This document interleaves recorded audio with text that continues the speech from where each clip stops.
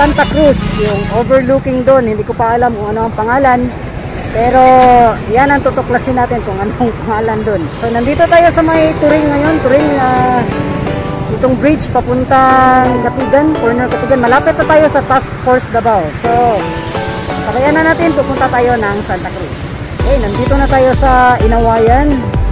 Nandito tayo sa lugar ng aking bossing boss. Uh, shout out ako kay Boss Glaisa. Hindi ko na lang sasabihin ang apelyido niya, baka magalit.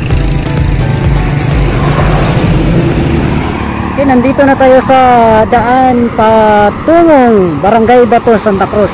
And ang ating pupuntahan ay, ayun, yung maliit na yan.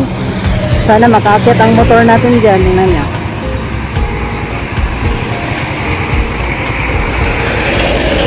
Yan. So ito na yung paakyat na daan. Galing doon sa Santa Cruz doon.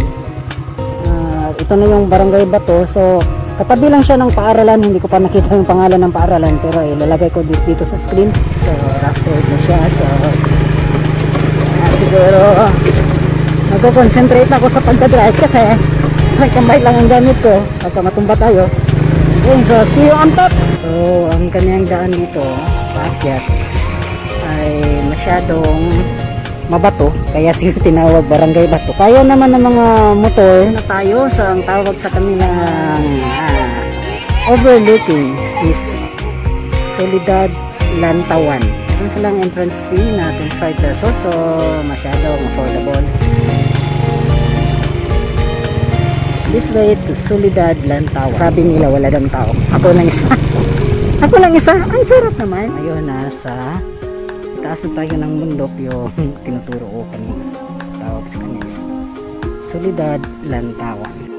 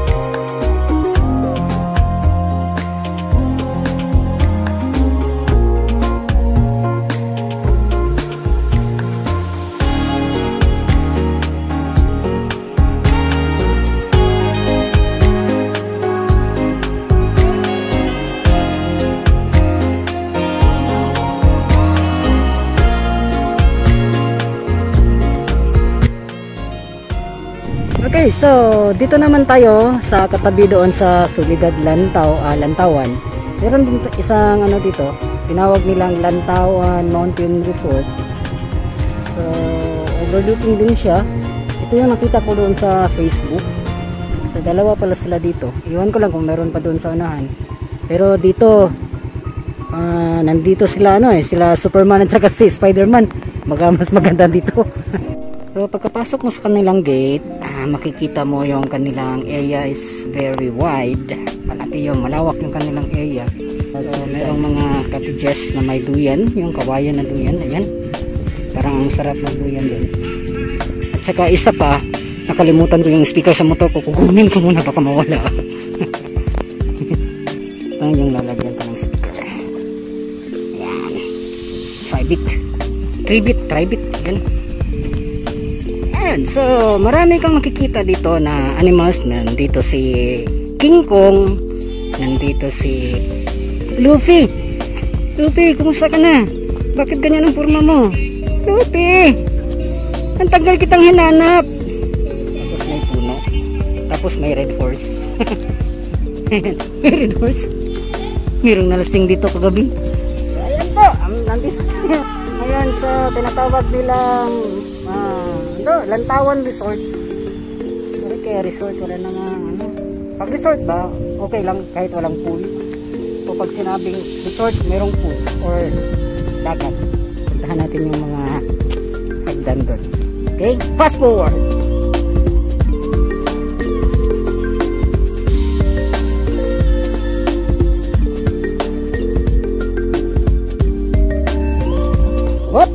Break break. Okay, nandito na tayo sa kanilang parang tree house na gawa sa bakal.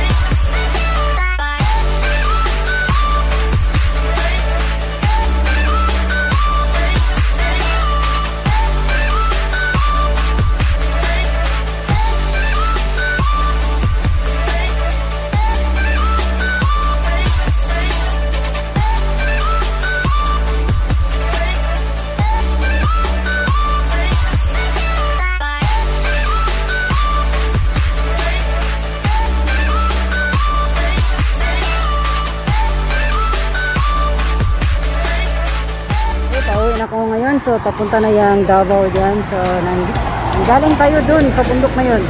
Yan, yan. So, dalawa pala ang mga ano dyan, overlooking sa Solidad, Lantawan, at saka yung Lantawan Resort. Pauwi na tayo. Hanap muna tayo ng makakainan kasi anong oras na? Anong oras na? It's 11.25. So, kailangan ko ng mananghalian. Nagugutom na ako. Okay, so lunch muna tayo. Nakahanap ako ng kainan. Yung karinderya lang. Ah, dito. ah, malapit na to sa may inawayan. Ah, sa may darong. May darong trail. Doon sa may ano, ah, San Miguel Brewery. So, putahin natin ngayon is Balbakwa, yung all-time favorite. Soft drinks, Pepsi, tapos isang rice. Okay, let's have a time.